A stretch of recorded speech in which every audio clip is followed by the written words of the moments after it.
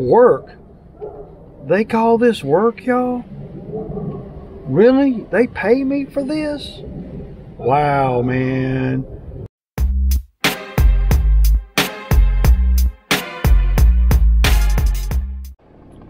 All right, guys. Sunday morning, y'all. I'm headed over here to do this little bobcat job. Uh, we're going. Uh, I'm gonna spread a little gravel.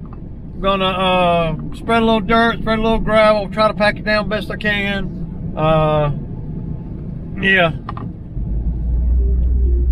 Seven seven zero six eight three. It's Ray. What's up, Ray? Who this? Oh, Oh, what's up, man? Dude, I don't know what you're doing, man. I I mean, I I I don't know where I don't. I'm I'm wor- I'm I'm, I'm on my way to work, dude. I've been at the room. You didn't Yeah, call me you didn't call me either, dude. I don't know what room you're in. I told you two two two. Uh huh. You tell me what room you're in. I don't know, dude. I don't know what you're gonna do, dude. I ain't. I'm not. I'm not. You just too much trouble, dude. Yeah. How come you didn't call me all day yesterday? All day long. Was you drunk? Fucked up? No, I did call you. No, you didn't. Yes, I did. Not yesterday. You did not.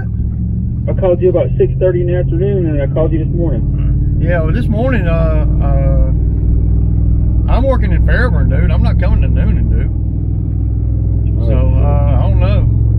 I mean, you need a phone, dude. You need a phone. Uh, I don't know what to tell you, man. Uh,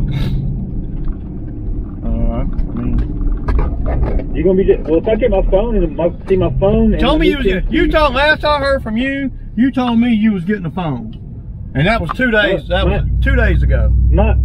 Yeah, I know, but I'm just telling you. Did you get it? phone and my and my ten speed is at the one roof thrift store right now waiting. When they open the doors in the morning, I'm gonna get it. Oh, you told me that- you told me you was gonna do you that. Have any work. If you told me that you was gonna do that on Friday. I know, but I'm just telling you the facts. Well, well, the fact was you was gonna do it on Friday. See, man, you you're unreliable as, as, as That that old bullcrap, right, man. I haven't seen you in months, dude. I know you're you're unreliable. You're unreliable as hell, dude. Well, I mean, if I'm not gonna work, I'm not even coming back to Senoia. I mean, I'm gonna get my Okay, phone. well, I don't know what to tell you, dude. I, I you can't work Or without a find Another phone. job. Well, you ain't got a. Well, I mean, if you can find a job, I mean, that's what I would do. I figured you'd been done found a job. What have you been doing for money? Uh, I've just been hanging out, man. I, I know that's what you do, man. You love to hang out. Watching the Capitals get bombed. Yeah, that was two weeks ago. They just showed some this morning. That was that, but that was that happened two weeks ago. You know, I don't know, man. I don't know what your deal is, dude. You you're you're you're you're just so far unreliable, man. I can't count on you, man. You yeah, and you don't have a place to stay in Senoia. So why would you even come back to Senoia? I don't understand. Well, but yeah, but the work you don't have a place to live. It's cold outside. That's my business. Daniel No. lets me stay over there sometimes. I, I, I stay. it's I your business. It's your business until until you don't have a phone, and then it's my business because I because I can't have no reliable help. So you make it. I just told you, dude. Dude, I just told you I'm going to get my phone. You told me that the other day.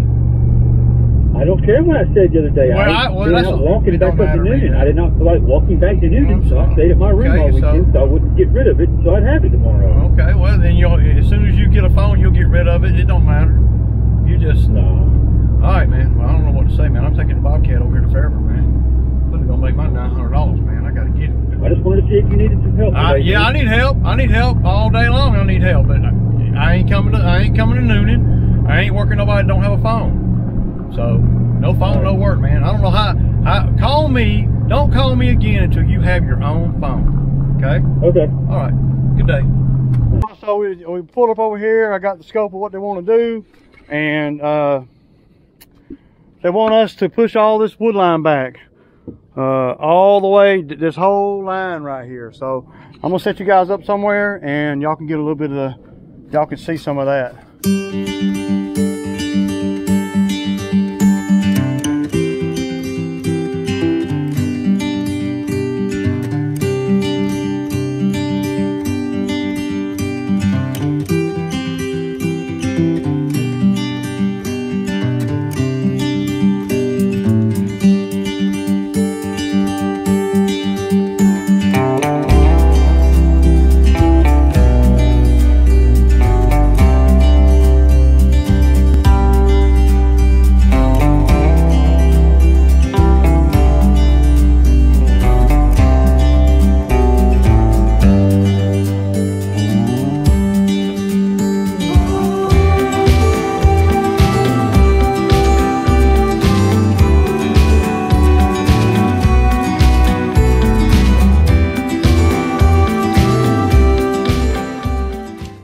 Y'all. So, uh, uh, y'all saw me push that down right there. That's a pretty good bit of work right there.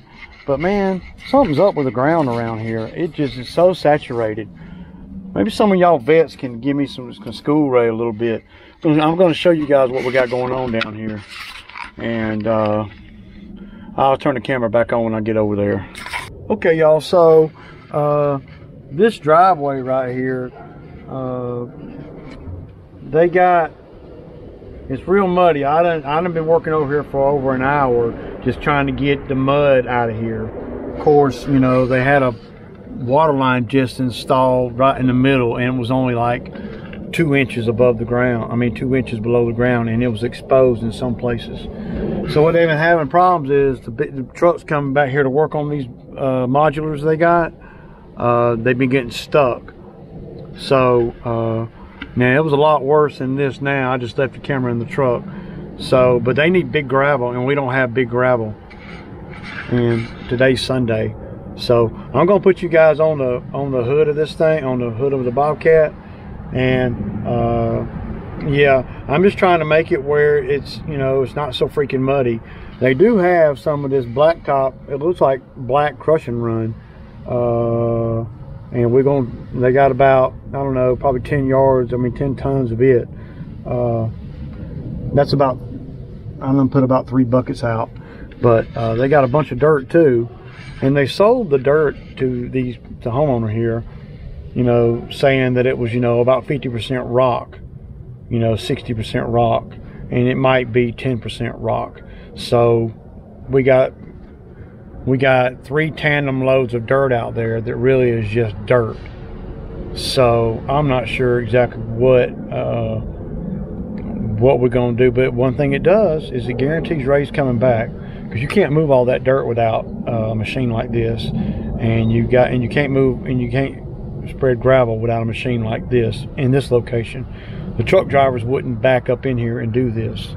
So I'm gonna, I'm telling them they need to get big gravel, not in the 57, but whatever the other one is. Uh, what is it, number three or whatever? I can't remember, but big gravel.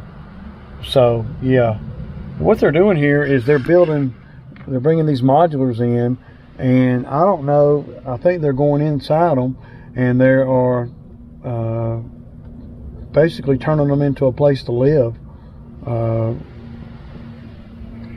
yeah, and they're going. They got another one coming today, and that's why they were in a rush. And see, sometimes the homeowners, you know, uh, on any given job, they think they got everything, and then they don't. For instance, they don't have any gravel here. They thought that this black stuff was gravel, you know, and this is not going to work. This is just base uh, and it's not really enough to, to do anything uh, with. So, you know, sometimes, you know, uh, though I'm going to make the thousand dollars today, no matter what, that, that I'm going to have to come back. Well, that's good for me in a way, but you know, I don't like to roll like that. I, I want, I want to be able to be all I can be when I come to a job with the Bobcat. Now, keep in mind, these are my regular customers. They've been my customers for probably eight years you know, doing the lawn, and uh, they're really good people, man. So I don't mind working for them, and I will definitely uh, do everything I can to make it where uh, trucks don't get stuck. Because what's been happening is the truck's been coming through here, and they're not now. Keep in mind, I ran across it for over an hour. So, and this right here is the softest spot. But they've been, the homeowner here is having to use his four-wheel drive truck to pull the contractors out of the mud hole. So, yeah. Uh, so I'm going to keep uh, doing what I'm doing, just running over it. And what I've been doing is filling the bucket up and then running over it with the full bucket. Is that a good way to do it? You think? Is that is that make that makes me heavier, right? Because the biggest thing is pressing this stuff down. Uh, we need some gravel, big time. If they have big gravel, then then see, I could do all this today, and they wouldn't have to have me come back. But the way it's it is, is I'm going to be back over here uh, relatively quick because they're not going to want to, uh, you know, they're not going to want to leave this like this and it rain on it or uh, whatever, and then then their crush and run wash away or whatever, and they're still having to pull contractors out to, uh, you know, out of the mud hole. Because I can't hardly fix the mud hole. And then to make things even worse, they got they they they had some low budget ass contractor come in here and put a water line in, right? I don't even think he used a trencher, y'all. The water line was exposed in about four different places. I mean, it's not even two inches under the ground. So that made it where I couldn't drag the driveway like I wanted to. You know, I couldn't drag it. I couldn't hardcore drag the driveway and get all the mud and muck off the top of it and get down to some decent hard dirt. See? And that in itself has made it where I'm having to work with what I got. So this is best I can do um, based on what I'm working with. So I'm fixing to spread out this uh, this blacktop or crushing blacktop crushing run, whatever it is. And uh, yeah, and you know, just try to make it just keep running over it back and forth, back and forth. All right, y'all. Uh, I'm gonna put y'all on the dash up here. Do some time lapse. Peace out.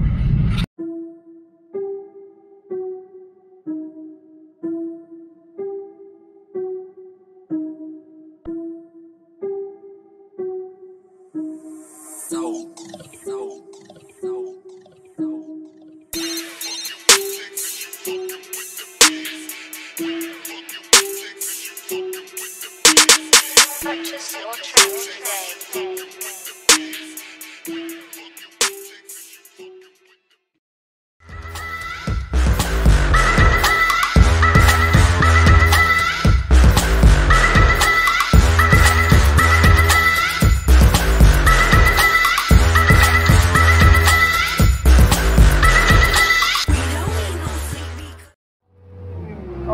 So I'm fixing to rip out all this stuff right here and uh, with the T190, y'all. The T190.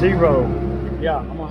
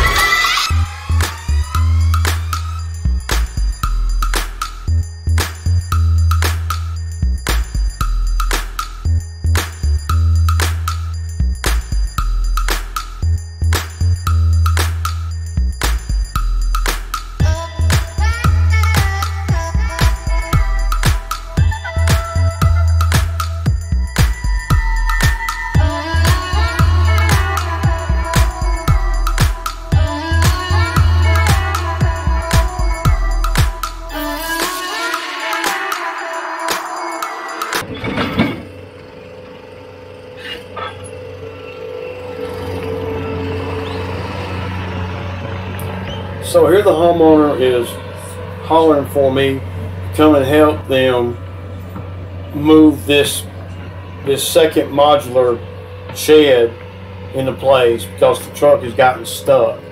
So now I'm spending the time, you know, that I'm there to help pull this truck out and to get this modular home backed up beside the other one. A big waste of time, uh, for real and it put me way behind on doing the work I'm actually getting paid for. So I probably spent an hour and a half fooling with that truck, modular home, getting the truck in there and getting the truck out. So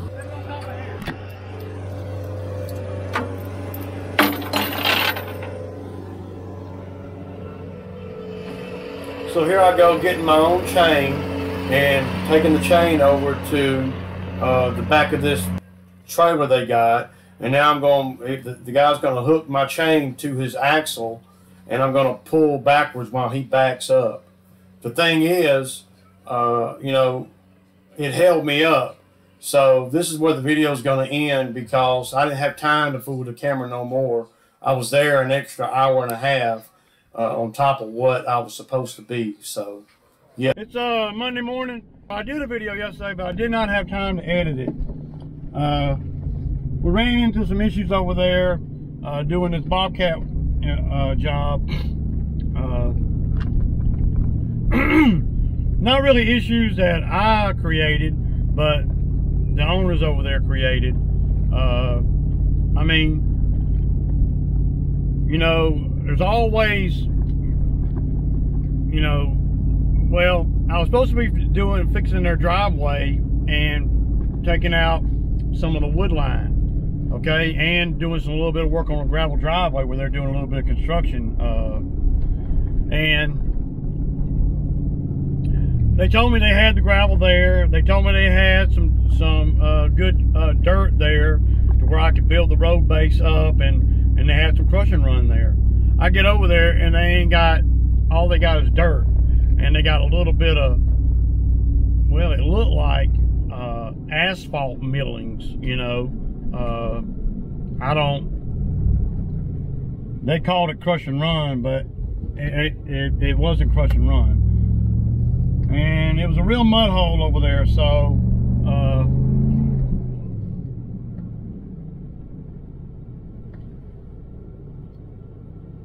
anyway by the time I got done over there I was very frustrated and stuff so and I spent seven hours over there for a thousand dollars you know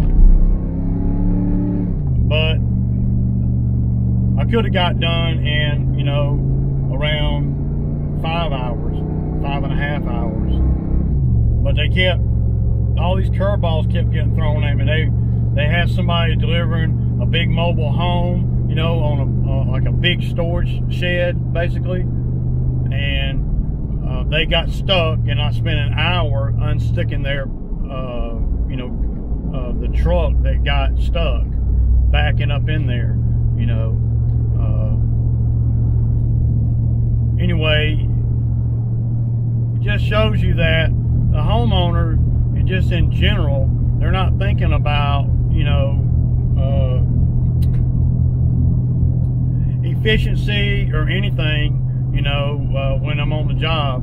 You know, if I was them, I would have made sure I had everything there so the Bobcat could do the work, but they didn't. So I get, a, and it's a 45 minute drive from my house, right on the fringe of what how far I'm willing to travel, you know. So, and they're regular customers of mine. So, you know, it just, you know, it just wasn't, it just wasn't, you know, ideal situation. Uh, they did not know that the people delivering the big shed was going to show up, and at least that's what they told me. And um, you know, if I had not have been there, then they wouldn't have been able to get that shed uh, in there or get the truck out of there. the truck got stuck delivering the shed. The truck got stuck numerous times, you know. Uh, of course, it's a big rig. It's, it, it's, a big. It was a big, big truck, you know. But it wasn't four wheel drive, you know.